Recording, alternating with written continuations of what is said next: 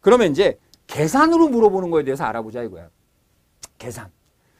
그래서 딱 싫다는 느낌이 막 올라와. 어, 막 올라와. 근데 그건 어쩔 수 없잖아. 계산 문제에 대해서 그렇다고 우리가 안 할 수도 없는 거고. 그러니까 알아가면서 천천히 해보자 이거야. 그러면 얘 표현대로 해보자. 소지 측량이라는 거는 지구가 평면이라고 했어요. 지구가 뭘로? 평면으로 볼 때였어. 대지 측량은 대지 측량은 지구가 어떻게 돼 있다는 거야? 공면으로 돼 있다는 거야. 지구가 어떻게 돼 있다고? 이렇게 공면으로 돼 있다는 거지. 그러면 이 한계점 우리가 한계점이라고 표현해 보면 무슨 말이냐? 요 점을 벗어나는 순간 A점, B점이라고 그냥 기준점을 더 볼까? A점과 B점 상에 벗어나는 순간 그 다음부터는 무슨 측량이야? 측량이야. 직접적 측량 중에. 뭔 말인지 모르겠어? 그죠? 그러면 아, 아, 분류해서 A와 B점에 대한 기준점을 벗어나는 순간 그 측량은 어떤 측량? 대지 측량이 되는 거야. 넓잖아. 그런데 A, B점 안에서 우리가 측량을 해. 그럼 무슨 측량으로 보자? 소지 측량, 국지적 측량, 평평, 평면 측량으로 보자 이거야. 무슨 말인지 알겠죠? 예, 그래서 이렇게 직선상의 거리를 small d라고 표현한 거고 실제 땅덩어리, 지구의 땅덩어리는 어떻다? 울퉁불퉁하다. 그것도 답이야. 근데 울퉁불퉁하다는 걸 따지자는 게 아니라 회전 타원체로 우리가 구분을 했을 때 타원에 대한 크기를 비교해 보면 곡면으로 돼 있더라는 거야. 이 곡선 길이를 뭐라고 보자? D라고 보자. 정의를 내는 거야. 계산을 해보는 거야. 그래서 테일러라는 사람하고 막 계속 막 해가지고 공식이 나와. 그거의 증명 하지도 마. 증명 웃기지 마. 그 증명하는데 시간 더 걸려. 그냥 암기를 하자 이거야. 그러면 봐. small d, large d에 대한 말이 나오죠. 예. small d 마이너스 large d라고 하는 건 같냐? 이건 정신 이상자야. 같다고 생각하면 정신 이상자야. 그런데 내가 어떤 말을 할 때 A, B점 안에 있을 땐 같아. A, B점 안에 있을 때, 요 안에서 평면 측량, 즉 국지적 측량을 할 때는 같이 보자야. 근데 같이 보자고 했지 같다라고 말하면 그건 틀린 말이야. 지금 둥글대매. 근데 그거를 뭘로 보겠다는 거야? 평면으로 보겠다는 거야. 여기서 거리 측량의 정의가 나와. 그럼 거리 측량이라고 하는 것이 뭔데? 라고 하는 것을 여러분들이 그러면 정의가 그거니까. 거리 측량이라는 건 뭐냐라고 한다면 두 점 간의 최단 거리. 두 점 간의 최단 거리를 우린 거리 측량이라고 그래. 그럼 두 점 간의 최단 거리라고 하는 건 이 최단 거리를 다른 말로 뭐라고도 해? 투영 거리라고도 해. 그럼 봐. 요렇게 된 거리나 요렇게 된 거리나 나 후라시를 딱 비춰서 투영을 시켰어. 딱 투영시키면 어떻게 돼? small D로 똑같이 만나버린다는 거지. 그러니까 얘들은 어떻게 돼? 거리 측량의 정의에 의해서 두 점 간의 최단 거리이기 때문에 small D를 우리가 갖다 쓸 수밖에 없어요. 그러면 large D를 나는 끝까지 쓰겠다. 대박 부자 돼. large D를 쓰겠다고 하는 친구가 있다면 나랑 같이 사업해. 왜? 곡면을 잰다는 거잖아. 곡면을 재는 자가 세상에 있어 없어? 없어. 있으면 나랑 같이 해. 그 사업. 내가 얼마를 투자하든 다 아파트 팔아서 다 투자할게. 대박인 거야. 공면을 우리가 못 재니까 어떻게 직선을 공면화 시켜버리는 거예요. 뭐 예를 들어볼까? 뭐, 아, 그, 이제 대신 여러분들이 생각할 게 있을 거야. 어, 한복 만드는 데나 아니면 뭐 클로소이드나 뭐 곡선 같은 거 있어서요. 이렇게 전철 같은 데라든지 그런 거 노선할 때 보면 기사들이 이렇게 클로소이드 곡선 뭐 2차, 3, 2차, 3차 포물선 뭐 이렇게 해가지고 갖다 쓰던데요. 아, 그건 정해진 룰에 대한 그 자들에 대한 각도가 있어. 예를 들어 전철 같은 거. 전철 같은 거 탔을 때 김양이 뭐라 하잖아. 이번 역은 승강장과 역 사이가 멀기 때문에 발이 빠질 수 있습니다. 그러니까 요 내리실 때 조심하세요라고 한 말 나오지? 몰라? 다 차만각 끌고 다녀? 전철 타봤잖아. 그러면 그 말 나오잖아. 그게 왜? 곡선이기 때문에 여기, 여기 곡선이기 때문에 전철은 곡선이야 직선이야? 야, 이 전철이 곡선을 어떻게 만드냐. 직선이지. 직선 전철이 들어갔잖아. 역은 곡선이야. 그러니까 양 끝은 괜찮은데 중앙이 벌어져. 중앙이 벌어지니까 사람들한테 얘기를 해주는 거야. 느낌이 안 오면 구역 대박이야. 구역은 이 위로 올라가거든 전철이. 구역 가면 전철이 곡선 적구나라는 게 눈으로 보여. 노선 따라가니까. 그 곡선은 우리가 자로 재서 타는 것이 아니라 선형을 갖고 있어. 그 선형에 의해서 우리가 도면을 만들어 나가는 거거든. 그 거리를 쟀다? 못 잽니다. 제가 왜 그렇게 말하냐. 곡선은 못 재요. 그러니까 직선화 시켜서 잴 수밖에 없어. 노선 측량할 때도 다 그렇잖아. 그러니까 받아들여, 받아들여. 못 재니까, 못 재니까 받아들여야 되는 거야. 그러면 거리 측량에서 두 점 간의 최단 거리, 투영 거리를 우리가 거리 측량이라고 한다는 거야. 이제부터 토목에서 거리라고 하는 건 무슨 거리야? 이 말이 숨어 있는 거야. 두 점 간의 최단 거리, 두 점 간의 투영 거리. 이게 숨어 있는 거야. 알겠죠? 어. 그러면 내가 왜 이런 얘기를 오래 했느냐? 얘 둘이 같지 않다는 거야. 같으면 지구는 네모 박스여야 되는 거야.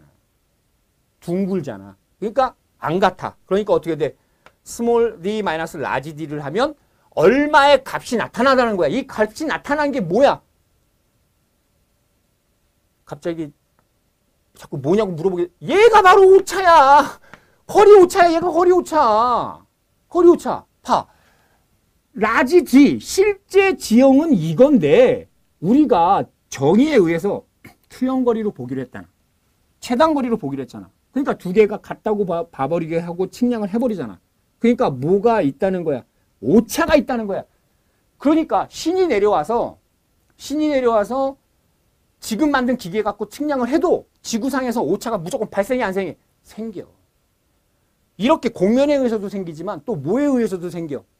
공기. 그래서 각 측량할 때 여러분들 배우겠지만 배우겠지만 양차라고 하는 말 들어봤어요? 양차? 양차. 기차와 구차. 이걸 합해 놓은 것이 양차잖아. 인정하고 싶지 않아? 그럼 인정하고 싶지 않으면 여러분들 생각해봐. 여기다 이렇게 섰어. 여러분 섰어. 그럼 앞 바라봐. 시야를 바라봐. 구차, 기차에 대한 오차가 없다고 치자. 그러면 어떻게 돼야 돼? 무조건. 구차에 대한 오차가 없다고 치자. 그러면 우리가 바라보면 어디가 보여야 돼? 밤에 바라보면. 별이 보여야지, 별이. 별이라니까 여자친구 눈 떠올리지, 그치? 별이 보여. 아니, 왜? 야, 내가 시야가 직선으로 가. 그럼 직선으로 가면 지구를 뚫고 우주 가서 별이 보여야 된다는 거야. 근데 우리는 어떻게 돼? 지표면이 보이잖아. 시야가 떨어져 버렸잖아. 그게 왜 생기는 거냐? 지구에는 중력에 의해서 땡기는 힘, 구차에 대한 것도 있지만 기차도 있어. 그럼 기차는 어떤 일이 생겨? 띄우는 일은 생겨. 띄우는 일. 나도 사막은 안 가봤어요. 근데 만화 같은 거 보면 그런 거 나오잖아. 어? 막 물을 하도 아니 안 먹으면 어떻게 돼? 막 이상하게 보여. 그러면서 어떻게 돼?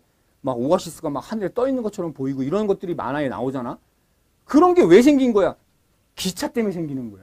시야를 올려버려. 그러니까 그런 것들을 넓은 측량에서는 어떻게 줄여줘야 된다는 거예요. 줄여줘야 돼. 그 줄여주는 거에 대한 얘기를 하자 이거야.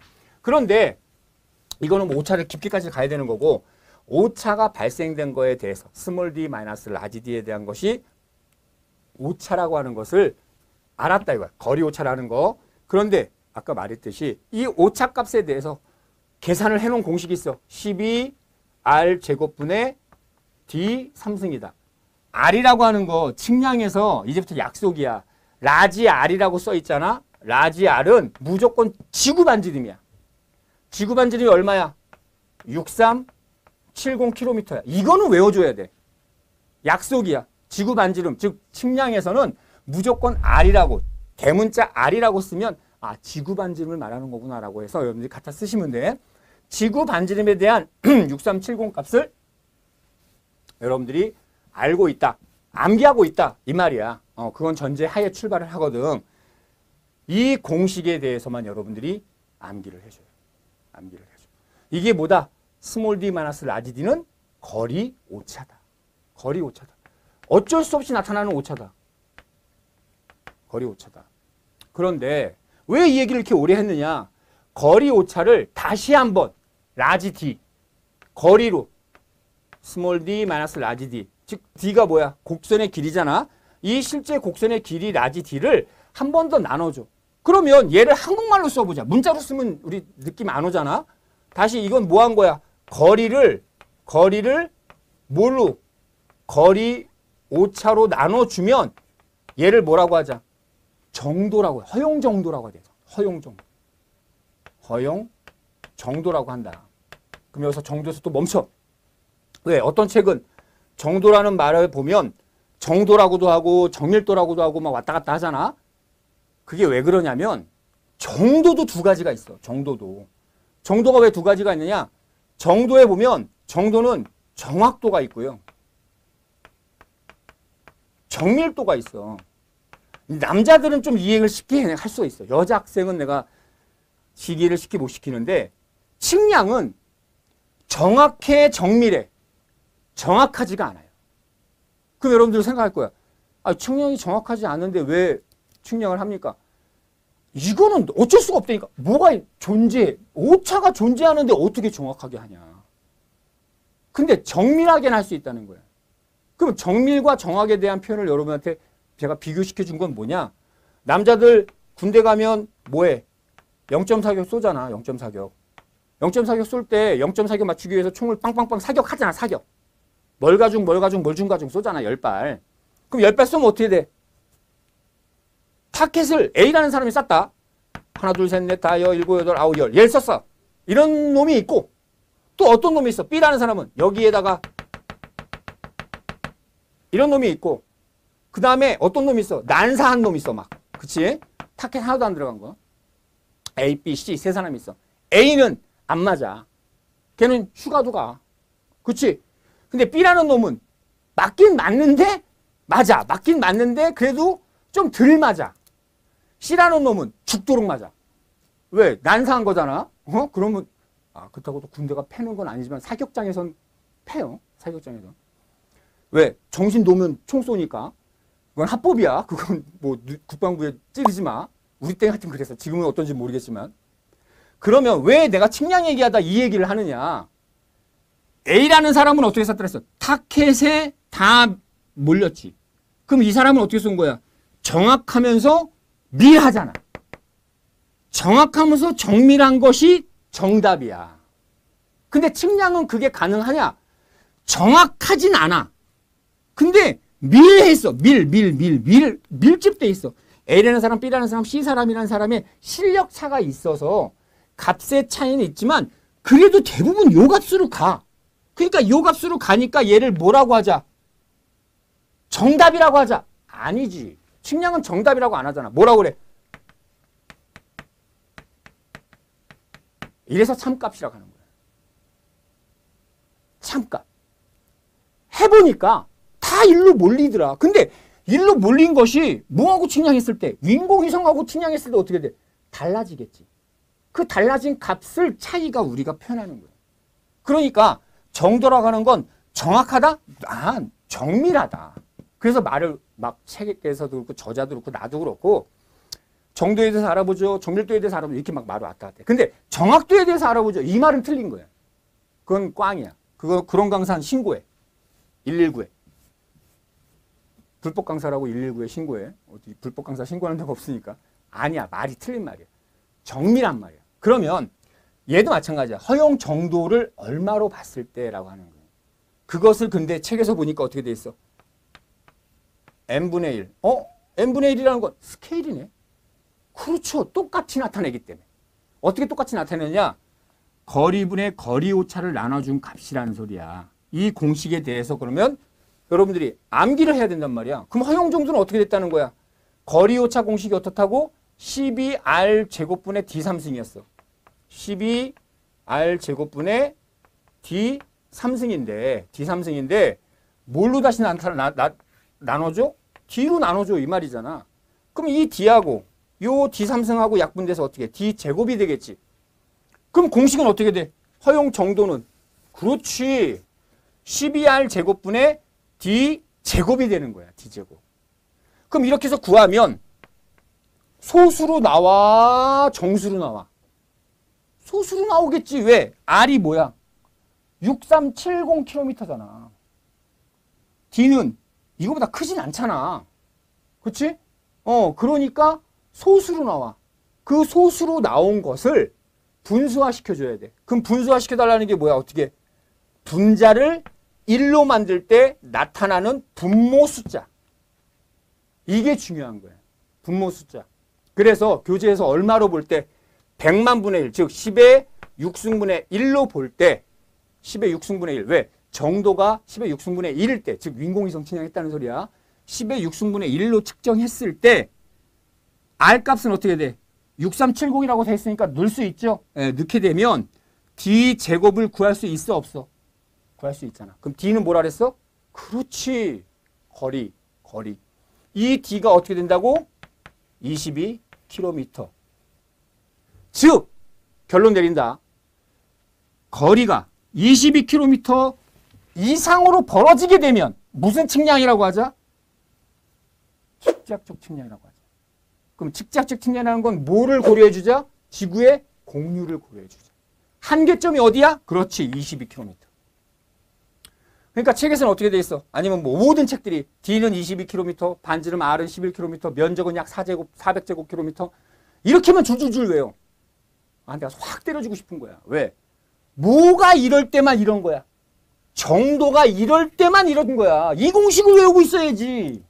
이걸 외우면 안 되지. 이걸 외우면. 결론을 외워버리면 안 되지. 기능사냐? 토목기사잖아. 그럼 토목기사는 어렵잖아. 허용 정도에 의해서 우리가 값을 측정해낼 때 다시 한번 결론 내린다. 평면 측량, 소지 측량이라고 하는 것과 직자적 측량으로 하는 그 한계점을 어디로 볼 거냐? 22km 약 면적으로는 400제곱km 안쪽에서 측량하면 소지 측량 그 이상으로 측량하면 대지 측량 직자적 측량이란 말이야. 그 구분을 딱 지어줬어. 한계점을 지어줬단 말이죠. 근데 정, 그거에 대한 조건이 있어. 정확도, 정, 아니, 정밀도가 얼마일 때? 10의 6승분의 1일 때. 정도가 10의 6승분의 1일 땐 그렇다는 거야. 그 시험 문제에서 어떻게 얘를 10의 5승분의 1로 바꿔버리면 얘가 다 바뀌어버리지. 다 바뀌어버리지. 그러니까 어떻게 해야 돼? 결론을 알고 있어야 돼. 그렇죠. 공식을 알고 있어야지. 12R 제곱분의 D제곱. 얼마? 정도가. 얼마일 때. 이렇다. 이렇게 하는 걸 구할 수 있어야 되는 거야. 여러분들이 쉽게 공부하려고 어떻게 해? 결론식 외워. 근데 결론식 외웠는데 1, 2, 3, 4에 얘를 10의 5승분의 1로 하고 1, 2, 3, 4에 뭐라고 돼 있어? 22km 있다니까? 그럼 어떻게 맞췄어? 그럼 맞춰놓고 답을 딱 있으니까 마, 찍었어. 그리고 시험 끝나고 나니까 난 떨어졌어. 그럼 누구 욕해? 배우락을 욕하고 박용복 욕할 거잖아. 욕하지 마. 본인이 원리를 파악해서 알아내야지. 이렇게 모든 걸 정의시켜서 답이 탁탁탁 있어서 시험 문제가 쉬우면 좋아. 토목기사 시험 보는데 시험 문제가 쉬워. 그럼 시험 문제가 쉬우면 무슨 일이 생길까요? 토목기사 따는 것이 자랑스러울까 안 자랑스러울까? 무슨 말 하는지 모르겠어? 좋아 그럼 예를 들어줄게. 나 운전면허 시험 봐. 친구들한테 자랑해. 야 나 일주일 뒤에 운전면허 시험 봐. 나 이제 5일 동안 도서관 들어가서 밤새면서 공부할 거야. 그리고 면허 땄어. 그러고서 친구들한테 어떻게 야 운전면허 시험 봤는데 1차에서 내가 70점 맞았어. 그래서 합격했어. 자랑하는 사람이 있어 없어? 없잖아. 근데 토목기사는 여러분들 합격하잖아요. 주변에서 어떻게 돼? 오 박수 받잖아. 왜 박수 받아? 어려운 거 붙었으니까. 좋아. 그럼 여러분들 다시 반대로 생각해봐. 내가 지금 없으니까 토목기사 시험 문제가 쉽게 나오길 바라는데 여러분들 토목기사 갔잖아요? 그럼 언제 어떻게 생각, 어, 생각을 갖게 되겠어? 뒤지게 어려웠으면 좋겠다. 왜 뒤지게 어려웠으면 좋겠어? 토목기사가 없어, 이, 있는 사람이 적게 있어야 내가 취업하기도 그렇고 다른 일을 받을 때 많은 대우를 받지 않을까? 그래서 공단 들어가 보자. 공단 들어가서 토목기사 합격률을 봐봐. 한 10년치, 뭐 6개년치, 10년치의 합격률을 보면 13.33% 또는 16.66%로 거의 정해져 있다. 거의 정해져 있는 이유가 뭐야? 그 이상 배출시키면 토목기사가 잉여, 남아. 남아 도니까 인정 못 받아. 그걸 나라가 막는 거야. 자격증이라는 게 뭐야? 이 사람은 토목기사에 준한다. 토목기사 일을 할 수 있다라고 나라가 보증해 주는 건데 보증해 주는 사람이 많아. 그럼 토목기사가 뭐, 뭐 아무나 다 해. 이건 안 된다 이거야. 나라에서도. 그러니까 일정 수준이 있다라고 하는 걸 측정해 보는 거야. 이렇게. 이 정도 알고 있느냐라고 하는 시험을 보는 거예요. 그러니까 여러분들은 어떻게 해야 돼? 뚫고 가야죠. 토목을 할 거면 내가 악담 하나 할까요? 어떤 악담을 하느냐? 여러분들 토목과 들어왔어. 할까 말까? 아, 막 토목 내가 이걸 해야 되나 말아야 되나? 친구들이 자격증 딴다니까 나도 따긴 따지만 이걸 내가 해야 되나? 악담한다 그랬잖아. 나도 토목과 나왔어. 그때 우리 과 40명이야. 40명 중에 내 나이에 지금 거의 다 토목해. 아웃사이더 있던 애들 다 토목하고 있어. 그때 공부 안 한 거 후회하면서. 지금 해요. 늦지 않았으니까 지금이라도 토목 공부를 더 열심히 하시고. 기사, 어, 따는 것도 무조건 따야 되는 거예요. 근데 공부하는 과정이 어렵고 힘들다는 거 알아. 하지만 어쩌겠어. 피할 수 없잖아. 즐겨. 받아들여. 수능해. 그래야 여러분들 효과가 좋아, 좋아져요. 그러니까 지금까지 우리가 측량의 정의를 알았고 측량을 대소로 분류했습니다. 다음 시간에서는 좌표도 알아볼 것이고 중력 측량이라든지 물리학적 측정에 대해서도 알아볼 거고 오차도 알아볼 겁니다. 어쨌든 이 파트에 대해서는 여러분들에게 제가 다 시험 문제 출제되는 예를 자꾸 말씀을 드렸잖아요. 그런 방법으로 대응을 하시는 게 가장 좋을 것 같습니다. 네, 이번 시험은 여기까지 마치겠습니다. 수고하셨습니다.